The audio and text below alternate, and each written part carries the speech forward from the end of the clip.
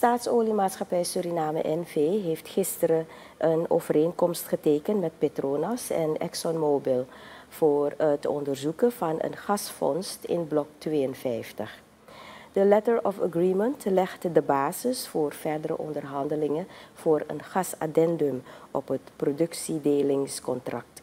Petronas zal vanaf april 2024 de Sloanea 2 beoordelingsput boren om de haalbaarheid van het gasveld te bepalen met mogelijk commerciële gasproductie rond 2031 via een FLNG-project.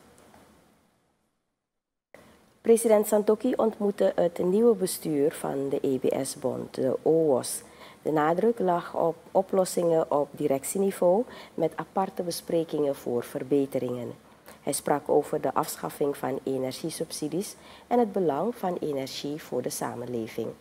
Minister Raghubar Singh benadrukte de noodzaak van tafelgesprekken voor oplossingen binnen de EBS. Bondsvoorzitter Hellings vroeg respect voor de vakbond en benadrukte hun constructieve rol. President Santoki drong aan op overleg met de regering over resultaten van onderhandelingen en de transitie naar groene energie. Minister Seudin heeft gisteren het meldpunt Nikeri officieel geopend, gevestigd op het ministerie van LVV in Nieuw-Nikeri.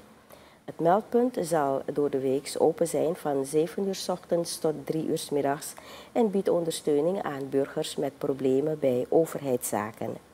Het doel is om een laagdrempelige plek te bieden waar burgers vrijelijk hun zorgen kunnen uiten, variërend van grondproblemen tot sociale ondersteuning. Het meldpunt zal bezoekers ontvangen en begeleiden met als doel concrete hulp en oplossingen te bieden voor de burgers.